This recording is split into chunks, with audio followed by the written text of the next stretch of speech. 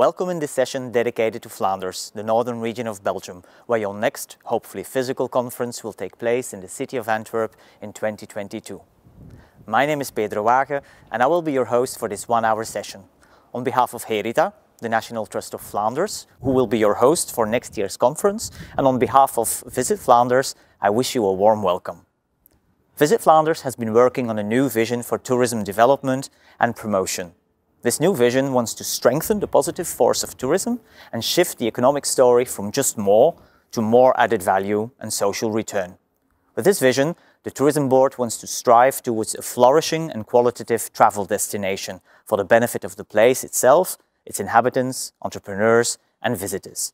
This future philosophy is called Travel to Tomorrow. Travel to Tomorrow is a holistic way of dealing with places. It's an approach which is just as much relevant for developing, managing, and promoting heritage sites, like this one. The Benedictine sisters left the St. Godelieve Abbey back in 2014.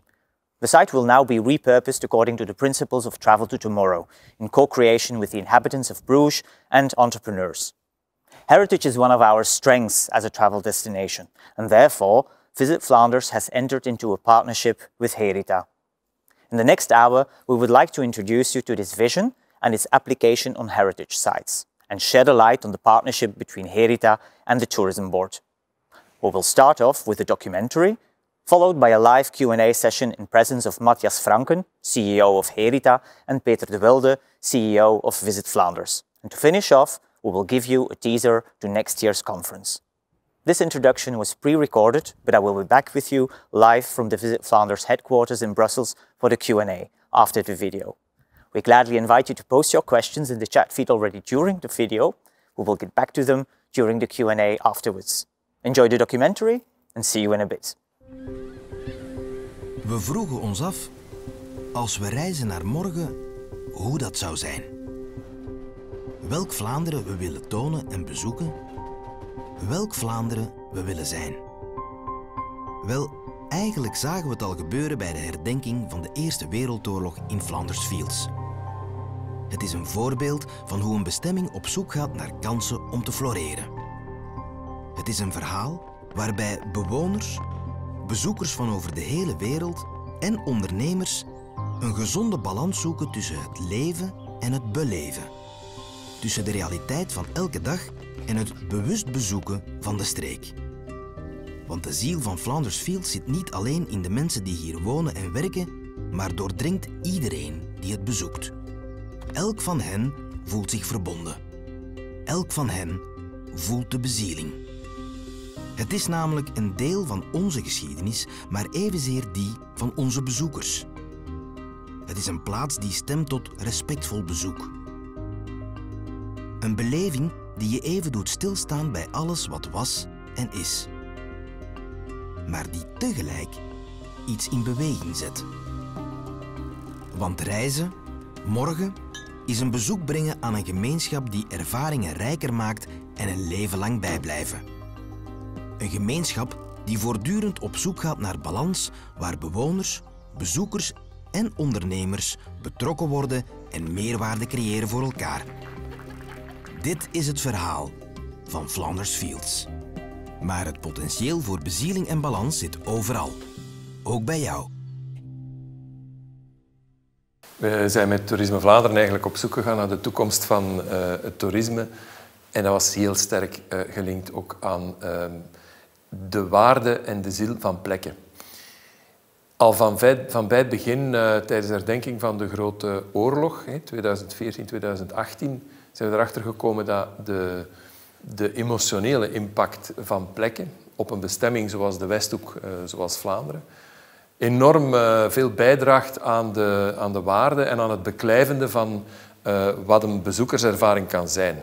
De, de mensen die de slagvelden en die de memorialen en, en werkelijk de herdenkingssites in de Westhoek bezoeken, die, uh, die doen aan een bepaalde vorm van toerisme die uh, buiten de platgetrapte paden uh, leidt um, naar een vorm van toerisme die zeer sterk emotionele impact heeft. En wanneer je daarover nadenkt, is dat een impact die uh, ook met omgevingsfactoren te maken heeft. Uh, wie je ontmoet op die plekken, wat je juist op die plekken doet. En ook of je uh, de ziel van de plek optimaal kan beleven. Dat wil zeggen of die plek ook in zijn waarde wordt gelaten, of die plek niet te veel ehm, onderhevig is aan, aan massa-effecten, aan geluidsoverlast, aan verrommeling en dergelijke meer. En um, we merkten dat er in de uh, UNESCO-verklaring van Quebec sprake is van de ziel van de plek. En de ziel van de plek is nu net waar dat van toepassing is op hoe wij vanuit het toeristisch perspectief kijken naar hoe reizen morgen en de interactie met erfgoed zich zal afspelen. Er is dus een heel tenger evenwicht tussen wat de bezoeker belangrijk vindt, wat de bewoner koestert in die plek, um, wat de ondernemer kan bijbrengen in de beleving, maar ook uh, uiteraard wat die ziel van de plek zelf, zelf kan dragen. De draagkracht van een site is heel belangrijk. De verdraagkracht van de mensen die daar, uh, die daar wonen hè, uh, en die eigenlijk voor een stuk moreel eigenaar zijn van de bestemming, die is ook enorm belangrijk. En dat is een ontdekking die we dan verder hebben gezet in 2017-18 bij het afronden van de herdenkingsperiode, omdat we dachten dat het niet alleen waardevol is voor een bepaalde periode en voor een bepaalde plek, in dit geval Flanders Fields, um, maar ook ruimer voor een bestemming zoals Vlaanderen, een van de dichtst bebouwde uh, uh, regio's ter wereld. Um, zeer verstedelijkt uh, gegeven. Um, op een moment dat we zagen dat het reizen of het toerisme aan zich in een zeer negatieve impact of werd ingeschat als heel negatief, ook in de publieke opinie. De klassieke manier waarop er vroeger uh, door de toeristische bril naar locaties werd gekeken, was in de, in de trant van een economische ontwikkeling. Kunnen we er een hotel in steken? Uh, past er misschien een seminariecentrum in? Uh, kan er misschien een restaurant of café? Um, ik denk dat, dat het belangrijk is dat een site de maatschappelijke uh, return heeft, waaronder zeker ook een economische, maar dat dat zeker niet de enige bril is waardoor dat we moeten kijken. Als we naar zo'n site kijken, dan moeten we vertrekken vanuit het DNA, vanuit de ziel van die site. En misschien komen daar andere verhalen naar boven die aan de geschiedenis van de plek gelinkt zijn. En niks staat in de weg dat die ook een economische spin of een economische return kunnen hebben. Uh, maar het gaat over meer dan dat. Het gaat over een, beter verhaal brengen, eh, met meerwaarde voor meer mensen. Eh, eerder dan een louter consumptief verhaal, waarbij dat mensen heel snel via een aankoop of via een consumptie rap iets meepikken van een omgeving, bijna als een soort van achtergrond, maar eigenlijk niet aantakken en connecteren met de plek zelf. En dat willen we wel. Het is ook iets dat bijdraagt aan het welzijn uh, van mensen. En dan kom ik bij een onderzoek eigenlijk van de National Trust uh, rond de impact van plekken. Um, samen met een aantal wetenschappers hebben zij ook getest wat uh, de associatie is die mensen maken met voorwerpen, de emotionele associatie, maar ook de, de, de, cognitieve associatie die mensen maken met voorwerpen en met plekken. En blijkt dat de associatie met plekken veel sterker is dan die uh, met voorwerpen. bijvoorbeeld mensen die een museum gaan bezoeken, die maken een connectie met een kunstwerk. Een kunstwerk kan een enorme impact hebben. Wel nu, de associatie of de impact die plekken kunnen hebben en ervaringen op plekken kunnen hebben op mensen, zijn nog veel sterker en blijven ook langer duren, dragen mensen ook langer mee. Uh, vandaar onze visie op uh, Reis naar Morgen, waarbij toerisme als uh, doel niet langer voorop staat, maar toerisme als middel. Hè. Het brengen van bezoekers in een setting waarbij dat die plaats zijn waarde krijgt doorheen de blik van de bezoeker, maar ook de bezoeker iets teruggeeft aan de bewoner. Uh, een stuk van erkenning, een stuk van appreciatie, waardoor die bewoner ook begint in te zien dat die plek wel degelijk bijzonder is. Want als Vlaming zien wij vaak niet meer hoe waardevol en mooi Vlaanderen is. Hè. En door die interactie uh, met respect voor de ziel van de plek en voor de verdraagkracht dan van uh, de bewoners, uh, willen wij aan de slag gaan en zijn wij dus ook aan de slag met, met erfgoedsites. en uiteraard met partners zoals Herita, Onroerend Erfgoed en talloze andere plekhouders. mensen die ook emotioneel betrokken zijn bij sites en dergelijke meer. Wel, vanuit Herita als stukje National Trust in, in Vlaanderen um, zijn we verantwoordelijk, we hebben het beheer van een hele hoop um, belangrijke erfgoedlocaties. Um, en hebben we al een aantal restauraties in het verleden met succes gedaan. Maar hebben we vastgesteld eigenlijk dat een aantal uitdagingen die toerisme heeft ook terugkomen bij erfgoed. we kunnen wel een heel mooie restauratie doen. We kunnen materieel op een heel mooie manier een, een, een gebouw een nieuwe bestemming geven, een nieuwe tijdslag geven en op een mooie manier ehm, de, de erfgoedwaarde herstellen. Ehm, maar als we dat immateriële aspect van een locatie niet meenemen, dan zijn dat jammer genoeg soms vrij doodse herbestemmingen. Uh, een, een, restauratie kan een bepaalde locatie versterken en kan ervoor zorgen dat we uh, ondernemers samenbrengen op de site, kan ervoor zorgen dat we toeristische initiatieven mogelijk maken, kan ervoor zorgen dat we natuur en cultuur combineren op een, op een locatie. een restauratie, jammer genoeg, kan er soms ook voor zorgen dat er meer afstand wordt gecreëerd tussen uh, de erfgoedlocatie en de lokale gemeenschap. Tussen de erfgoedlocatie en eventuele ondernemers die interesse hebben. Dus wat wij vastgesteld hebben, is dat het heel belangrijk is om van bij de start van een restauratieproces, bij de start van een beheersproces, eigenlijk al die aspecten die Reizen naar Morgen zo mooi brengt, samen te zetten. Uh, en te zorgen dat die locatie van bij het begin uh, wordt opgewaardeerd en wordt ingebed in de, in de lokale gemeenschap. Um, ik denk dat dat de enige manier is uh, waarop dat we dat, dat, erfgoed een nieuwe toekomst kunnen geven, waarop dat we dat erfgoed relevant kunnen houden voor een aantal nieuwe maatschappelijke uitdagingen die er zijn. Uh, ik denk het ergste dat we kunnen doen is een soort glazen stolp plaatsen over, uh, over een locatie waarbij we het wel heel mooi in orde zetten, maar er vervolgens geen, geen ziel meer is, geen beleving meer is, geen emotionele affectie meer is met mensen die de locatie, de locatie bezoeken. en dat is ook de manier waarop we daarmee um, als National Trust aan de slag gaan op een aantal locaties. Hè, bijvoorbeeld in Herkenrode. Um, een abdij zitten met, een geschiedenis van 800 jaar. De, de, origines van de abdij gaan terug tot, de, tot de 12e eeuw. Um, als we daar een stukje nieuwe beleving rond willen doen, moeten we vertrekken vanuit de geschiedenis van die, van, van die locatie. Moeten we vertrekken van een soort invalshoek dat al 800 jaar lang, generatie na generatie, met die plek aan de slag gaat. Ehm, nieuwe dingen toevoegt aan de locatie. Ehm, en dat ook wij in staat zijn, eh, de huidige generatie, van te beseffen, kijk, de generaties voor ons hebben ons tot hier gebracht. Op welke manier willen wij nu dit stukje erfgoed in deze plaats uh, aan de generaties na ons nalaten? Op welke manier willen we dat dan generaties na ons met deze locatie nog verder aan de slag kunnen? Um, en bijvoorbeeld in Herkeroden is dat een heel mooie plaats waarbij dat uh, lokale ondernemingen zich aangetrokken voelen tot de zitten, waar, waar interessante congressen, brainstormsessies kunnen doorgaan, erfgoedlocaties inspireren en zijn bij uitstek locaties die geschikt zijn voor, uh, voor dat soort activiteiten.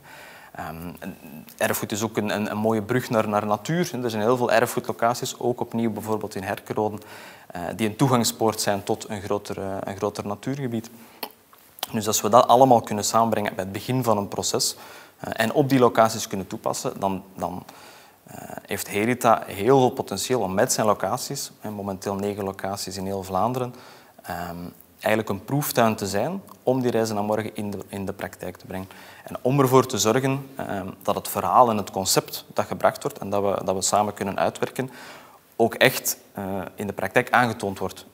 En dat mensen er ook echt kunnen ervaren wat dat nu concreet inhoudt.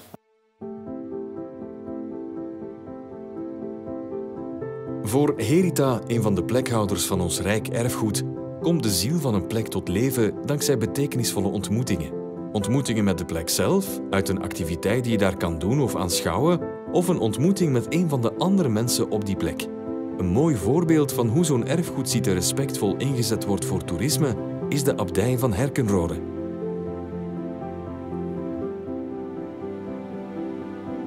De abdij van Herkenrode is gesticht in de 12e eeuw. Eigenlijk uitgegroeid tot een van de, of de rijkste en grootste vrouwenabdij in de Nederlanden. Ehm, de geschiedenis wordt gekenmerkt door eigenlijk een constante golfbeweging van zowel verval als bloei. Om daar een voorbeeld van te geven, op haar hoogtepunt heeft de abdij meer dan 3000 hectare grondeneigendom bestelt ze kunstwerken bij zeer voorname kunstenaars. bijvoorbeeld het feit dat een aantal van die stukken vandaag erkend zijn als Vlaams topstuk, ja, dat zegt toch wel iets. Dan ja, bij de Franse revolutie, helaas, natuurlijk komt er dan een einde aan het abdijleven. Maar dan beginnen, uh, begint een periode van vooral industrie en landbouw. En dan eigenlijk op het einde van de 20e eeuw is heel het project gestart qua restauratie en herbestemming tot wat het dan vandaag is. Een ontmoetingsplek, een rustplek voor velen. En we proberen een plek te zijn waar iedereen wel iets kan vinden, zowel voor groot als klein. Alles doen in functie van de ziel van een plek, dat is voor mij de basis eigenlijk. En in functie daarvan, alles wat wij doen, alle activiteiten, alle evenementen, proberen wij linken te leggen met ja, de vele thema's die hier aanwezig waren of zijn. Dat gaat van kunst, uh, ambacht tot ja, religie en zingeving. En we proberen dat te doen met ja, kleine speelse linken, soms op een heel hedendaagse manier, soms ook heel ja, bijna authentiek, maar altijd met respect voor het ziel van deze plek. Een activiteit waar wij toch zelf bijzonder trots op zijn is de Zagen van de Eenhoorn. Dat is iets wat wij jaarlijks organiseren, op Pinksterzondag. Ehm, en daar proberen we eigenlijk op een hedendaagse, vernieuwende manier vooral uh, gezinnen met jonge kinderen naar hier te brengen, maar toch ook altijd wel her en der iets mee te geven. Natuurlijk het feit dat Herkenrode geworden is wat het nu is, brengt meer en meer bezoekers naar deze plek, waar de onmiddellijke omgeving en ook ja, natuurlijk de sitepartners uh, een voordeel uh, kunnen bij hebben. Um, dat gaat van arrangementen die wij samen uitwerken met hotels, met de hotelsector of de horeca in de onmiddellijke omgeving, tot ja, natuurlijk bij de vele evenementen die wij hier doen, uh, bedrijven die ingeschakeld worden voor allerhande dingen. Sowieso is er op Herkenrode een biolandbouwer actief, die ook een aantal uh, van zijn producten, natuurlijk rechtstreeks de opbrengst van het domein, uh, die omgezet zijn in producten. Dat gaat van ook ja, appelsap en dergelijke. Um, daarnaast is er ook, hebben wij een abdijbier Herkenrode, een erkend abdijbier. Sowieso wordt Herkenrode inderdaad ook meer en meer een plek uh, die bedrijven of kunstenaars of dergelijke gaan gebruiken om ja, meer cachet te geven aan hun activiteit. Hè. Dus bedrijfsfeesten die doorgaan in de grote tienschuur, maar in het poortgebouw bijvoorbeeld gaan meer en meer kunstexpos door. Um, die ondernemers zeggen inderdaad ook, zeker bij die kunstexpo's, wij treffen hier ook een publiek wat wij eigenlijk elders niet makkelijk gaan treffen. Dat zijn soms toevallige passanten die dan hier stoten op een dergelijke expo en dat er op die manier een leuke ja, kennismaking is. Uh, en die keren dan ook jaar na jaar terug, wat voor ons natuurlijk ook heel leuk is, uh, naar meerwaarde genereren op je site natuurlijk. Herkenrode is een plek voor iedereen, dus dat betekent dat wij ook aandacht moeten hebben voor iedereen. Zowel voor mensen met een fysieke beperking, uh, daar hebben we aandacht voor in alle gebouwen, toegankelijkheid, al die dingen. Maar anderzijds werken we bijvoorbeeld ook aan een project voor mensen met dementie, omdat zij halen heel veel herinneringen daarboven met ja, dingen die zij zien, geuren. En zo zijn we bezig met een project dat bijvoorbeeld in de tuin, die vele geuren die daar, uh, waar mensen daarmee in aanraking komen, die bepaalde herinneringen oproepen. Dus daar zijn we ook voor een project voor aan het uitwerken zodat dat gestimuleerd wordt eigenlijk. Um, heel wat van onze vrijwilligers zijn buurtbewoners, um, vaak omdat zij ook een ja, band hebben met deze plek. Ze hebben hier bijvoorbeeld nog als kind gespeeld en vinden het bijgevolg belangrijk dat ja, dit blijft leven en dat die geschiedenis vooral ook wordt uh, doorgegeven. Het engagement dat die mensen hebben, dat kun je bij niemand anders vinden.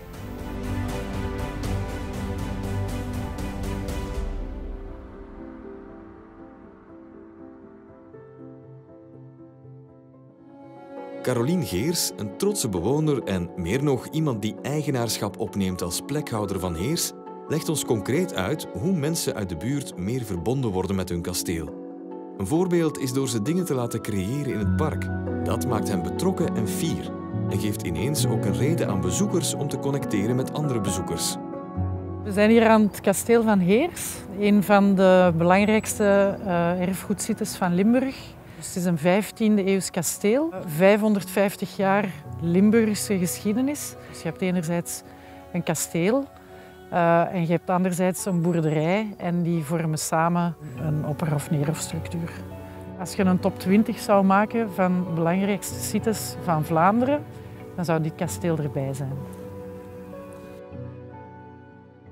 De laatste eigenaars waren de broers Michel en Ricardo de Mézières.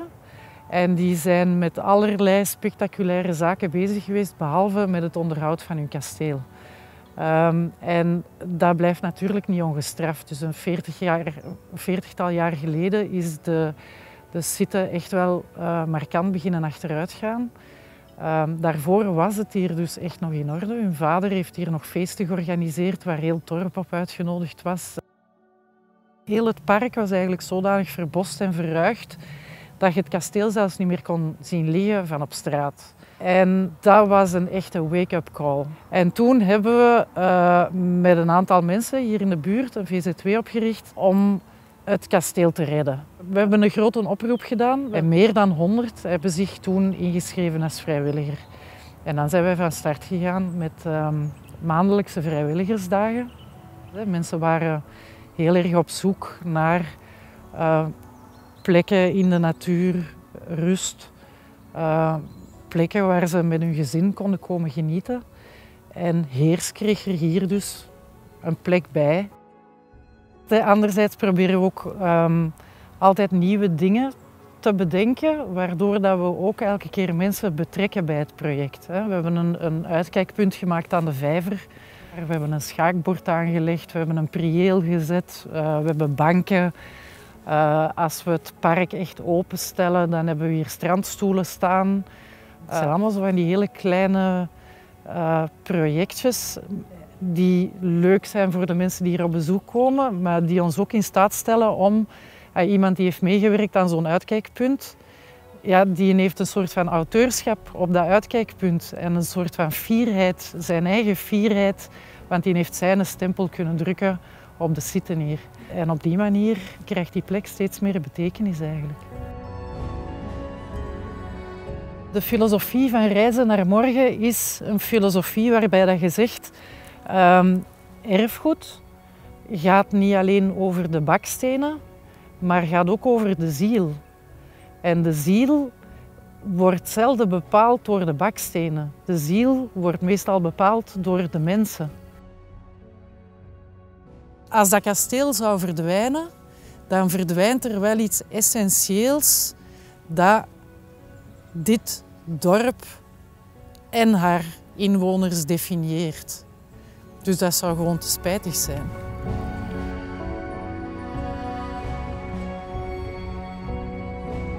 Ik denk dat um, wij, de VZW, als plekhouder, dat onze belangrijkste verdienste is dat wij mensen hun fantasie terugprikkelen over wat deze site allemaal zou kunnen zijn. Eigenlijk zou dat terug het kloppend hart moeten worden van die gemeenschap. En dat op heel veel verschillende gebieden. Dat, zou een, een hefboomproject kunnen zijn voor de economie, voor het toerisme, uh, voor events, voor cultuur. En dat is eigenlijk onze grote droom. Dat is waarom dat we doen wat we doen hier.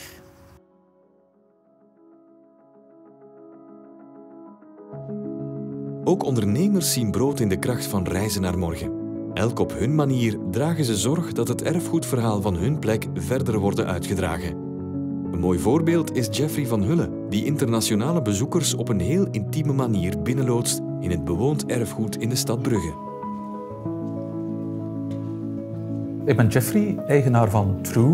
En in Brugge hebben wij True Bruges, wat op zich een, uh, een DMC is. Eigenlijk een evenementenkantoor voor bedrijven die naar Brugge komen om hier hun congres of incentive of meeting te organiseren. En vanuit daar um, hanteren wij eigenlijk al jaren dat reizen naar morgen principe, waar mensen eigenlijk op zoek zijn naar naar echtheid, naar passie, naar een ziel. We zijn hier in Brugge in het Huis Standaard. En het Huis Standaard is een van de locaties waar wij met ons kantoor heel veel werken. Dat is een derde generatie van de familie Standaard. En op zich wonen nog altijd Pol en Hilde hier. Um, Pol is eigenlijk moluremaker, zoals je ook ziet. Doet schouwen, gipswerk. Ja, Pol heeft een ongelooflijke passie voor zijn werk, voor zijn ambacht wat hij doet.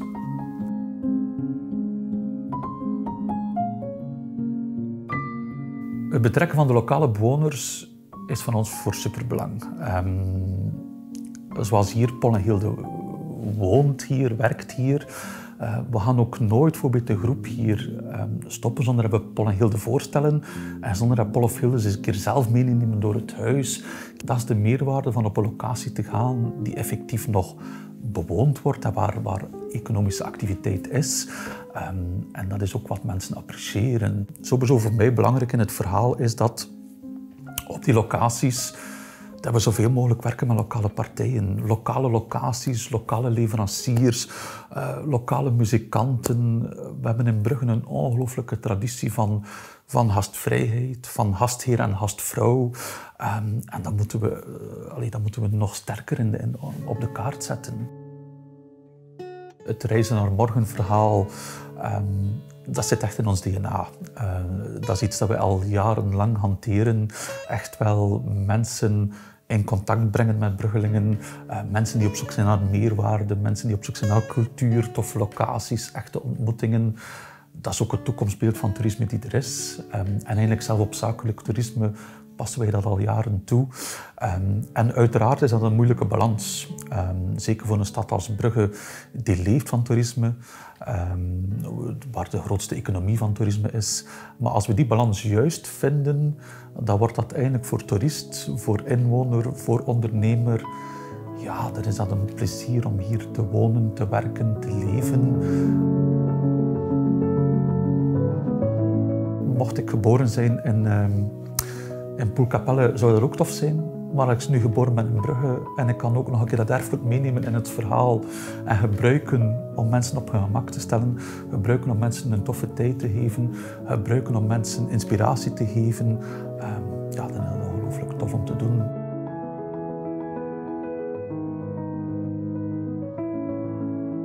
Ongetwijfeld zijn er nog plekken in Vlaanderen waar je elementen uit de visie van Reizen naar Morgen terugvindt. Locaties waar je ziet dat de samenwerking tussen plekhouders, bezoekers, ondernemers en bewoners leidt tot een geheel sterker dan de afzonderlijke delen. Een plek die bloeit en waar bezoekers betekenisvol bijdragen tot het floreren van de hele gemeenschap.